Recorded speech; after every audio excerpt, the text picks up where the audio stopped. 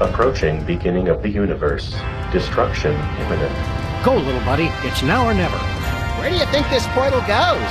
Anywhere that's not on a spaceship set to self-destruct and hurtling towards the beginning of the universe.